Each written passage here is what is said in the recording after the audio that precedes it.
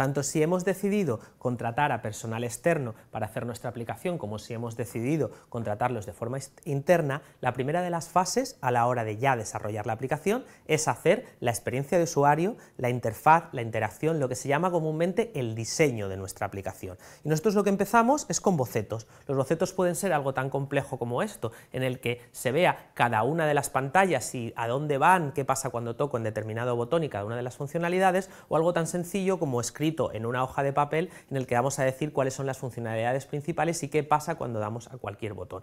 Un diseñador eh, UX lo que hace es hacer todo esto en un programa que se llama Sketch normalmente o que se llama Figma, depende del que tengamos que utilizar, y lo que nos hace al inicio es un boceto en el que están absolutamente todas las interacciones entre pantallas y todas las funcionalidades. Una vez que esto esté aprobado, se pasa a la siguiente fase, que es la de UI, en la que se da color a todas esas pantallas.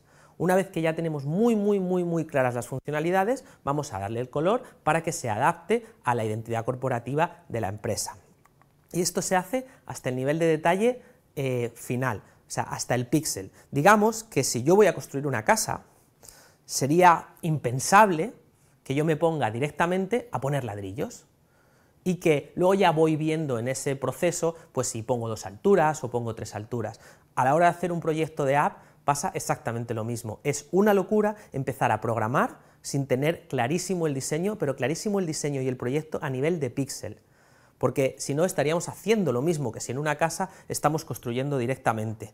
Luego, cuando queramos hacer cambios, esos cambios van a ser muy, muy costosos, ya que no solo es lo que se ve. Cuando tenemos que hacer un cambio en una aplicación, no simplemente tenemos que cambiar un color por otro o un píxel por otro. Detrás hay muchísimas cosas. Es como cuando construimos una casa, ponemos el lavabo en un sitio y luego se nos ocurre que queremos ponerlo en otra habitación. No es solo quitar el lavabo y ponerlo en otro lado. Hay muchísimas tuberías interiores, electricidad, electricidad y cosas que pasan por las paredes que tenemos que tapar, volver a abrir y volver a tapar después. En el caso de una app pasa igual. Si nosotros empezamos a desarrollar directamente y se nos van ocurriendo cosas, lo que hacemos es gastar y gastar y gastar dinero que luego vamos tirando y cada cambio supone muchísimo más rehacerlo que si lo hubiéramos hecho desde el principio. Por tanto, hay que hacer estas fases que os he contado. La primera, estos bocetos, estos mock-up, esto en lo que tenemos clarísimamente todas las funcionalidades, lo vamos a utilizar como hacer, como os he dicho, en un programa que se llama Sketch o se llama Figma en general.